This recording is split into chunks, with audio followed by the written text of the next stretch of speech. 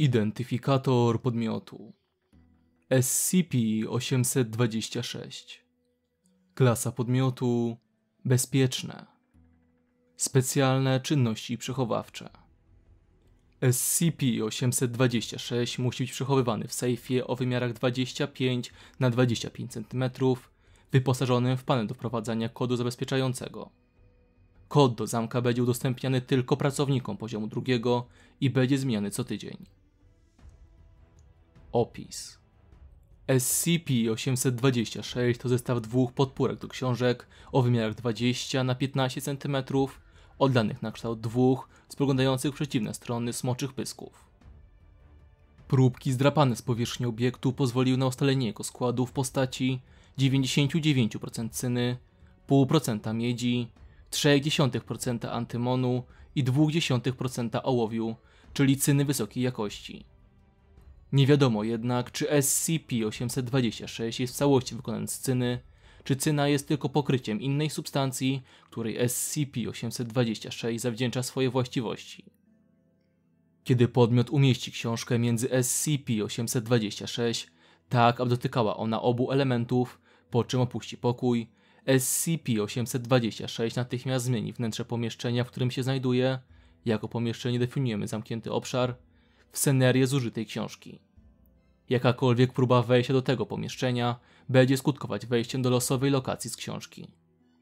W czasie tego przekształcania SCP-826 wraz z książką przenoszą się do innej scenerii, preferując miejsca, w których zwykle książki znajdują uczelni, biblioteki itd. Tak Aby przerwać działanie obiektu, podmiot musi znaleźć i usunąć książkę z SCP-826, po czym opuścić pomieszczenie, w którym tego dokonał.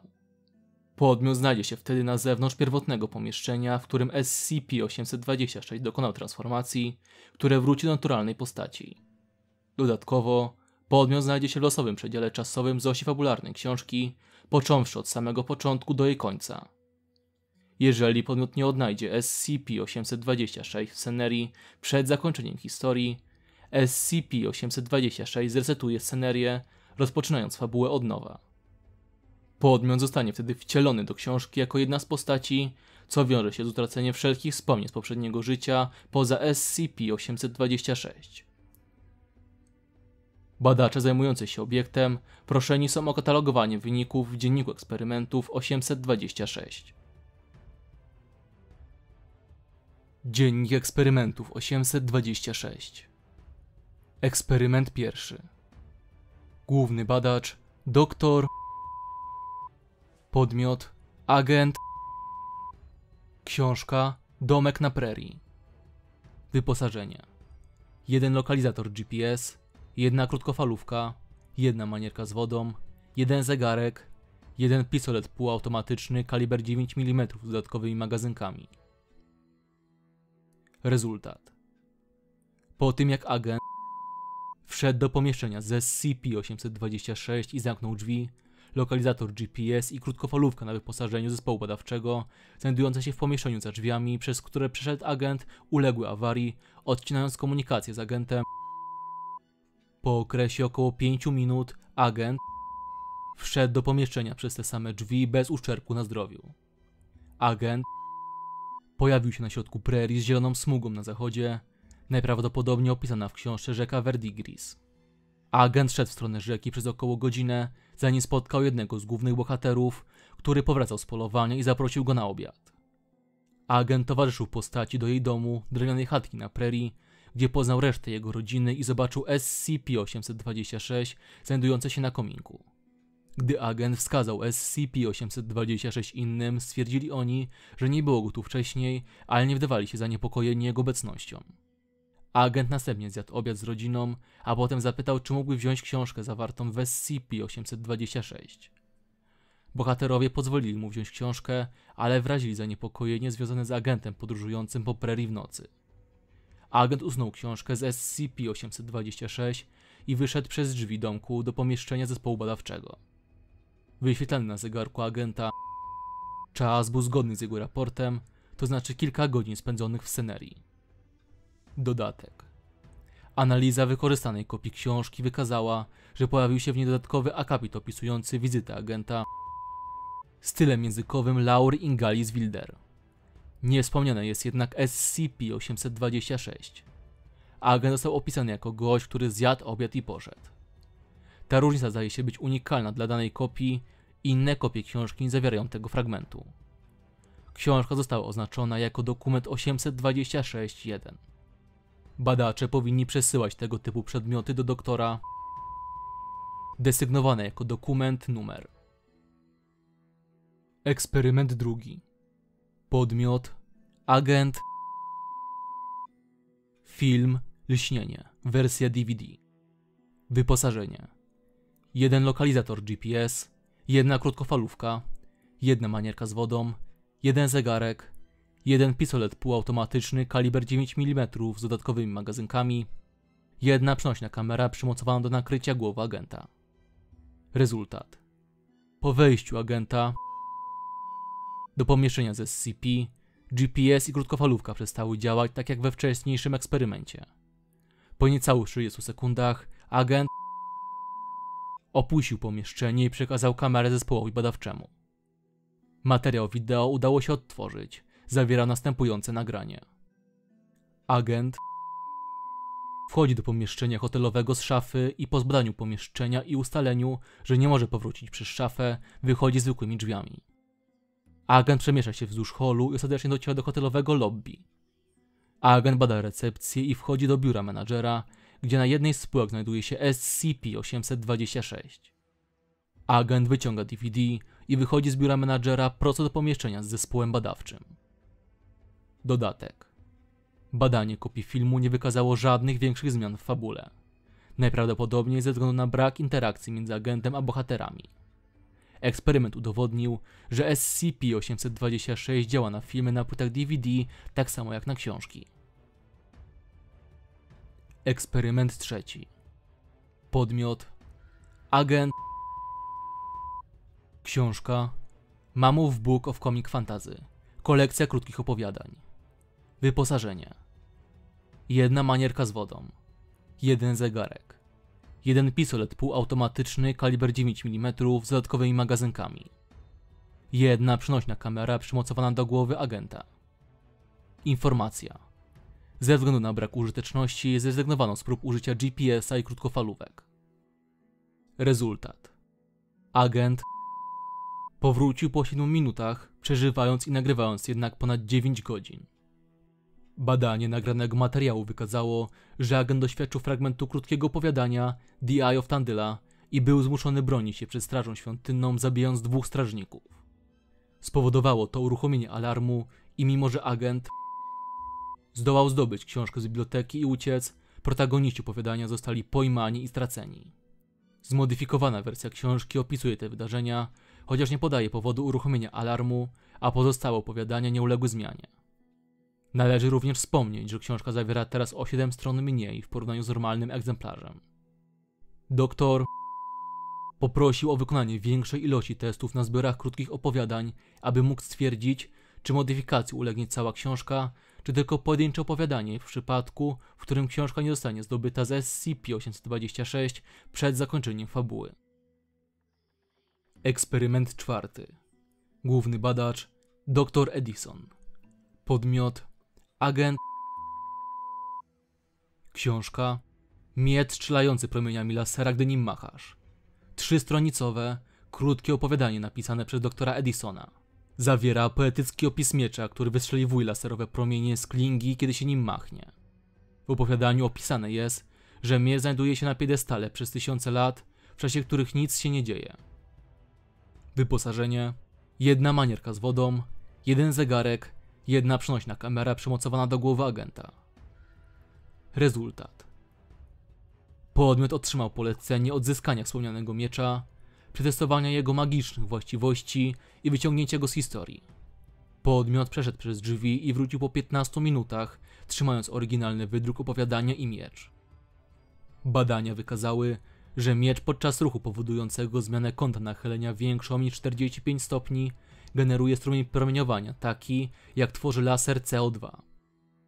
Miecz został przydzielony doktorowi Edisonowi w celu ustalenia źródła energii, mocy lasera i reprezentatorów optycznych. Zapis wideo z testu pokazuje, że miecz zgadza się z tekstowym opisem, włącznie ze zdolnością strzelania laserem oraz że agent rzeczywiście zdobył miecz i wyniósł go ze sobą. Opowiadanie praktycznie się nie zmieniło, poza jednym akapitem, w którym mężczyzna pasujący opisem do agenta kradnie miecz i zabiera go do nieznanych krain. Miecz oznaczono SCP-826-1. Dodatek. Badania naukowe nie dały przekonywujących rezultatów. Analiza cząsteczkowa wykazała, że SCP-826-1 na poziomie atomowym ma budowę papieru do drukarek laserowych, materiału, na którym wydrukowano opowiadanie, ale zachowuje się jak stal wysokiej próby. Z drugiej strony, laser zachowuje się jak promień powstały w laserach CO2 we wszystkich aspektach poza prędkością, ponieważ osiąga niecałe 60 km na godzinę, o wiele mniej niż konwencjonalne lasery. Próby zmagazynowania tej energii nie powiodły się, ponieważ promień rozprasza się w ciągu sekund od uderzenia w cel. Agent stwierdził, że jest mężczyzną o imieniu Galhort z królestwa Zolgon. Agent zażądał zwrócenia SCP-826-1 do jego ojczyzny i uwolnienia spod wpływu tej przegniłej magii. Wszelkie próby leczenia okazały się nieskuteczne. Dr Edison zażądał, aby wszelkie dalsze eksperymenty z SCP-826 odbywały się z udziałem personelu klasy D. Dodatek drugi. Dokładnie o godzinie dnia 42 godziny po ostatniej wyprawie agenta w głąb SCP-826 agent i SCP-826-1 równocześnie zniknęli. Nie znaleziono żadnych śladów, a sam fakt istnienia agenta został wymazany z wszelkich zapisków fundacji, włącznie z kopiami bezpieczeństwa i archiwami. Historia wykorzystywana w testach pozostała taka sama, poza wzmianką, że mężczyzna nosił imię Galtor. Dr Edison ponownie zasugerował wykorzystanie klasy D w kolejnych testach. Eksperyment piąty. Podmiot D826-01. Książka Miecz strzelający promieniami lasera, gdy nim machniesz. Trzystronicowe, krótkie opowiadanie napisane przez doktora Edisona. Kopia będąca wynikiem poprzedniego eksperymentu. Wyposażenie. Jedna manierka z wodą. Jeden zegarek. Jedna przenośna kamera przymocowana do głowy podmiotu. Jeden załadowany policyjny taser X26. Rezultat. Podmiot otrzymał polecenie znalezienia i wyprowadzenia agenta Podmiot nie wracał 5 minut. Agent wszedł do SCP-826 i zdobył opowiadanie bez wypadków. Ma ono dodatkowe fragmenty opisujące człowieka w dziwacznym stroju, próbującego zatrzymać agenta za pomocą magicznej broni znanej rodzajowi ludzkiemu, której opis pasuje do policyjnego Tazera X-26. Historia opisuje następnie agenta raniącego D-826-01 za pomocą SCP-826-01 i zamykającego go w najplugawszym rochu zamku Hylet. Odzyskane nagranie potwierdza rozwój wydarzeń. Eksperyment szósty. Podmioty D-826-02, D-826-03, D-826-04, D-826-05, D-826-06, i D-826-07, wszyscy posiadający przeszkolenie militarne. Książka Miecz strzelający promieniami lasera, gdy mi machniesz. Trzystronicowe, krótkie opowiadanie napisane przez doktora Edisona, kopia będąca wynikiem poprzedniego eksperymentu. Wyposażenie. Sześć manierek z wodą, sześć zegarków, sześć przenośnych kamer przymocowanych do głów podmiotów, sześć załadowanych policyjnych tazerów X-26. Rezultat. Grupa skutecznie namierzyła i przejęła agenta ID 826-01, wyprowadzając ich z SCP-826, lecz pozostawiając SCP-826-01. Historia przyjęła wszystkie niezbędne zmiany, opisując sześciu łotrzyków, którzy domagali się pomsty za krew swojego straconego brata przez pojmanie agenta. Dodatek. Agent Ciągle doświadcza patologicznych złudzeń i jest przekonany, że jest rycerzem o imieniu Galtor. Podobnie D-82601 uważa się za czarodzieja krwi zwanego Rotmorn, który chciał zdobyć SCP-82601 dla siebie. Tazer D-82601 zmienił się w magiczną laskę, zdolną do strzelania błyskawicami. Uważa się, że posiada ona właściwości fizyczne podobne do SCP-82601. Przedmiot oznaczono SCP-82602 i wysłano do ośrodka w celu dalszych badań. Ponadto podmioty od D-82602 do D-82607 uważam się teraz za rycerzy tronu wysłanych na pomoc Goltarnowi. Dodatek drugi. Jak w przypadku poprzedniego eksperymentu, agent i podmioty od D-82602 do D-82607 oraz SCP-82602 zniknęli o dnia ponownie dokładnie 72 godziny po opuszczeniu SCP-826. Historia opowiada teraz, że rzeczywiście Gultarnowi towarzyszyło sześciu rycerzy tronu uzbrojonych w magiczny oręż otrzymany od dobrego czarodzieja Edinson Grada. Wszyscy badacze, którzy mieli kontakt ze SCP-826-02 lub SCP-826 teraz są w różny sposób zaznaczeni. Zaleca się obserwację personelu, który miał kontakt ze SCP-826. Dobra, na poważnie. Skąd to coś wiedziało, jak mam na imię? Jestem pewien, że nie podawałem go żadnemu agentowi, a już na pewno nie żadnemu podmiotowi. Ja wiem, co się zdarza w naszej pracy, że to swego rodzaju banał, ale wydaje mi się, że ta rzecz jest świadoma? Doktor Edison.